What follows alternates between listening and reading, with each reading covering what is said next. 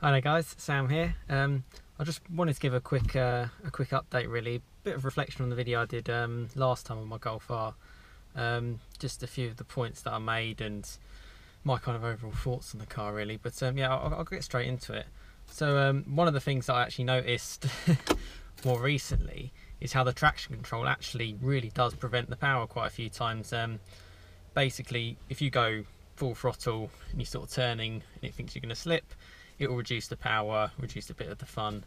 Um, I found obviously by turning off the traction control, yeah, you get um, you get all the power you want. It's it's fantastic. The only thing when you do that though is you get a, a load of warning lights on the dash, and it just kind of puts it off. I'll, I'll try and show it now. So if I spin it round, try and point it to where you lot can see. So if I basically turn traction control off on this car, you just press hold down this, and it says that and then it says deactivated. And then it comes up with loads of errors saying you know your front assist isn't going to be working now. Um, ESC's off. There's a little warning light. You know there's at least three warning lights and that sort of when you're driving around does put you off a little bit actually because it's kind of like it's almost saying oh you know what? Don't do this kind of thing then you can turn it straight off and then obviously everything comes activated.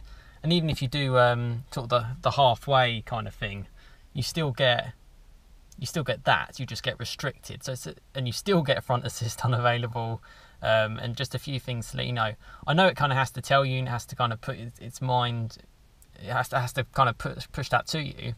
Um, but yeah, for me, it just kind of put it off a little bit. But certainly when it is off, it's um, it's a load of fun, and I'm starting to yeah reflect a little bit more on that. And you know how fun this kind of car can be. Um, while I'm kind of in the car, this is my last journey anyway. So, um, 36 mile journey to be 46 minutes. I've got 36.3 miles per gallon, which is pretty good. You know, since filling this car up with super unleaded, um, 84 miles, 35.3 miles per gallon. Now, you know, that that's pretty good. Um, I've done 84 miles, 360 miles it's saying left, so give or take nearly sort of 400 and nearly 450 miles, which is which is really really good. Um, as you can see from the car as well, sort of on about four 4,000 miles now. But um, that's just one thing I wanted to mention. There's a few other bits I'll um, I'll step out and uh, and show you. A couple of things I wanted to mention. So um, obviously the car's nice and clean. I've just given it a wash um, yesterday one thing you'll find with the wheels, particularly these Cadiz wheels, is um, once you clean them, you get loads of sort of streak marks. It, it's kind of like a it's a wheel that you basically once you clean it and wash it and do what you can, you almost have to um, like buff the whole wheel out um, to actually get it to a, a great a great condition kind of thing. Um, I think it's just the way the material is. Um, it kind of yeah, it kind of just glides off um, and leaves a few streaks, but it certainly does, is looking nice, certainly in the sun. Um, one thing I, I, am sort of coming around to the colour more, when it, particularly when it's clean, it looks quite good. Um, I was actually on my way down here, sort of like an Aston Martin, um, it was about 2008 um, V8 Vantage in grey, and it was a really similar grey to this car. And I suppose if um, you know if you if you had a car um, if this was like a sports car, it'd probably almost be an Aston Martin. Funny enough, his was in a, in a manual as well. About the same in terms of 0 to 60 as well, around 5 seconds. Obviously his sounded amazing, but the fact that mine can do the whole, you know, I can use this every day, can't really use an Aston every day. Um, God knows what it would cost to kind of run that kind of car and, and bits around that. Um, the last thing I wanted to mention is my point on kind of boot space just a little bit. So I have bag of footballs um, and again, probably me being a bit too harsh. So, as you can see, open the boot.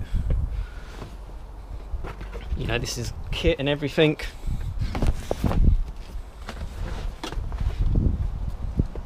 Goes in really nicely, you know.